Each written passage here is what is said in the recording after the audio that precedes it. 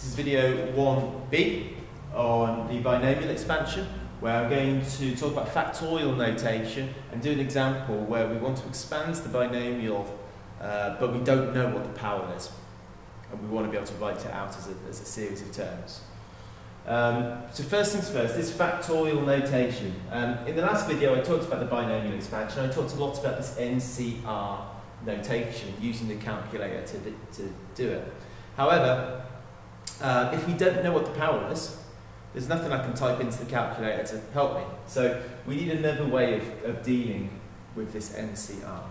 That's where this comes in. This is actually what the calculator does. When you type in NCR into the calculator, this is what the this is the calculation that the calculator does to return the number. Um, so this is the more important thing, really. Um, in the second video, I'll actually show you where this formula comes from. But for now, I just want to explain what the factorial notation means and how you can use this to expand um, a binomial. So, factorial notation. It's this exclamation mark. That's what we mean by factorial notation, uh, or that is the notation rather. And what it means is, if I said 4 factorial, all that means is 4 times 3 times 2 times 1. So you start at that number and you multiply all of the uh, integers below it down to 1. So in this case here, 4 factorial is 24. Yeah. If I said uh, 3 factorial, that would just simply be 3 times 2 times 1, which is 6. That's all the factorial notation means. A um, couple of points to say here. Factorials often divide very nicely. If I've got, say, uh, 10 factorial over 8 factorial, now 10 factorial is 10 times 9 times 8 times 7.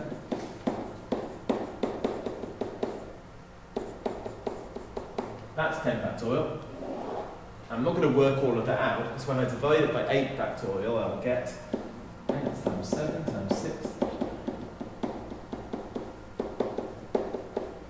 And then what do we notice? Well, actually, all of this cancels with all of this. And I actually just get left with 10 times 9, which is 90. So this is 90. So factorial, uh, factorials simplify really nicely. That's going to be uh, useful for us in a minute. The other thing I want to say is in terms of algebra, if I said uh, n factorial, what does that mean? Well, it means I start at n, and I multiply that by the number less, one less than that, and I multiply that by the number one less than that, and the number one less than that, and so on, until I get down to one. That's what n factorial means. So that'll be useful for us in a moment. Okay, so let's look at an example. I want to write down the first three terms of 2 plus x to the power n in their simplest form in terms of x and n.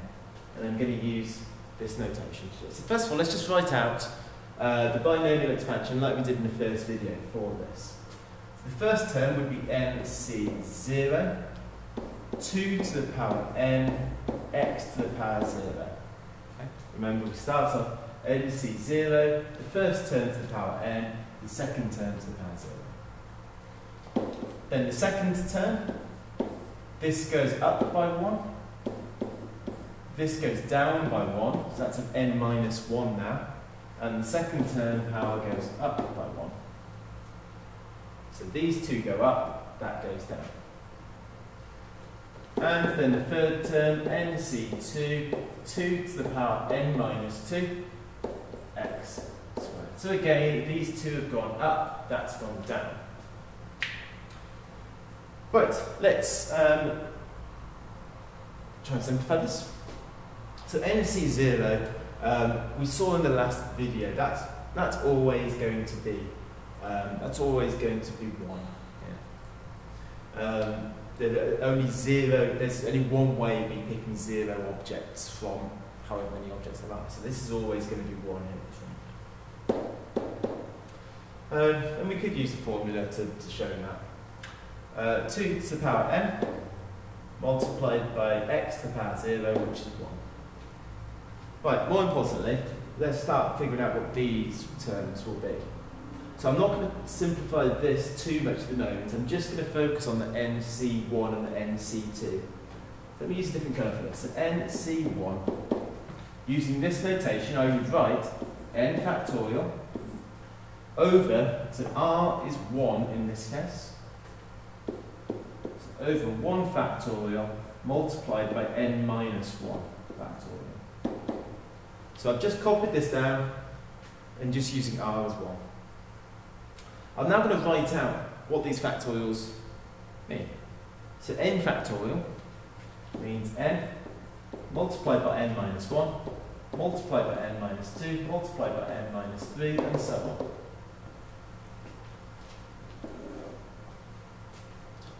One factorial is just 1. Then I've got n minus 1 factorial. So that's n minus 1 multiplied by n minus 2 multiplied by n minus 3 and so on. Okay? Start off at n minus 1, then you multiply it by the number that's 1 less than that, so n minus 2, n minus 3 and so on. And what you should hopefully notice is we get a lot of cancellation, like, uh, like usual with these factorials. Whenever we divide a factorial, we get lots of simplification. And actually, all I get left with is just n over 1, which is n. So this NC1 will simplify just to be n.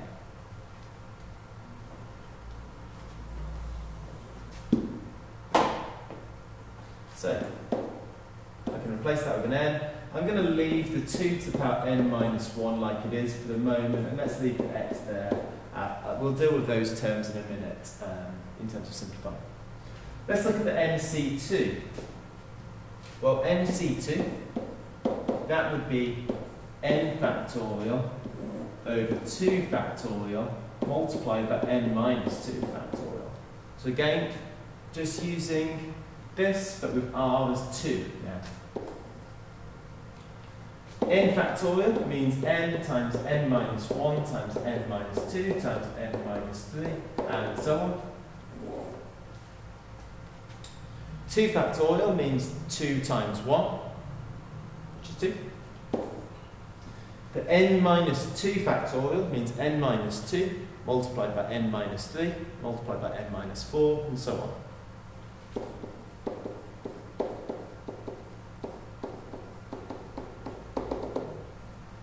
And again, we can see we've got some cancellation here. The n minus 2's cancel, the n minus 3's cancel. The n minus 4 here would cancel the n minus 4 here that I didn't have space to write down. All of those are going to cancel and just leave you with the n times n minus 1 over 2. So instead of writing nc2, I can write n, n minus 1 all over 2, and then these other terms.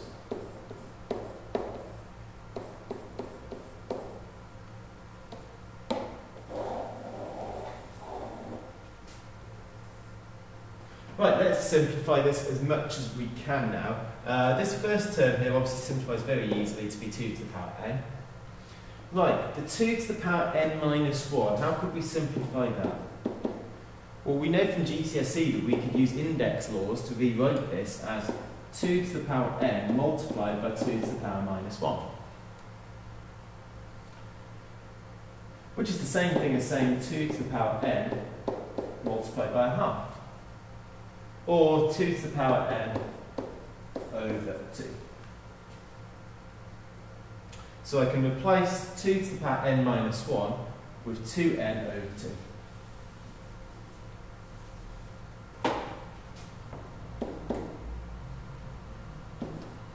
So we've got the n in front. Here we've got 2 to the power n over 2 multiplied by x to the power 1, which is x. Here we've got the n, n minus 1 over 2, multiplied by the 2 to the power n minus 2.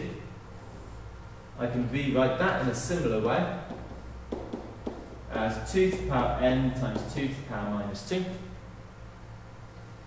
which is the same thing as 2 to the power n times a quarter, because 2 to the power minus 2 is 1 quarter, or 2 to the power n over 4. So I can write that and then x squared on the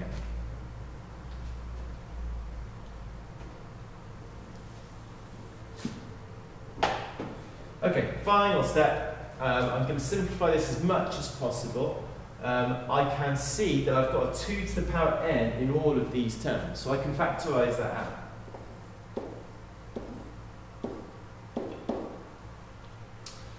Um, so here I'll just be left with n over 2x, because I factorised the 2 to the power n out. I'm allowed to factorise the 2 to the power n outside because I know that I will always have a 2 to the power n. In every, in every term of this expansion, I will have a 2 to the power n at the front.